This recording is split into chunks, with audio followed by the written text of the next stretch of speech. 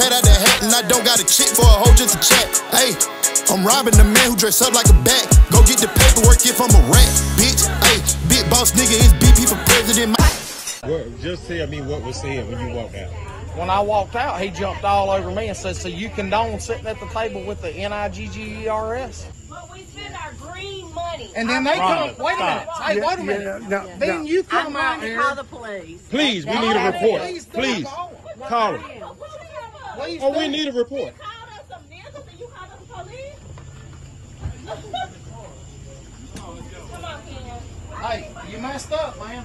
No, I didn't mess Yeah, up. you did. Because this is their first time experiencing. They're friends of mine here. That was and then not- you want to make me feel bad That for- was because I the- sat down at the table That was and then not- you asked me, you asked me hmm.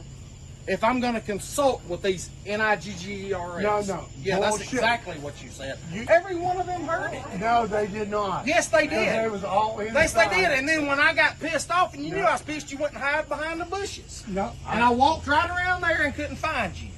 That's not right. I'm right this is here. their first time I here. am right here. That was. I was just bragging. Ask everyone. I was bragging how good And it was to we come come here. back. But if And they wanted to in, come back right, until back. you showed your ass out here and had a problem with race. Today is my son's 22nd birthday and he had to encounter this? Really? That's not This? right. and You should be it's not. ashamed of yourself, man. You should. So you know what? We're not going to have anything else to say. We're not causing problems. We're, I'm making my point to you.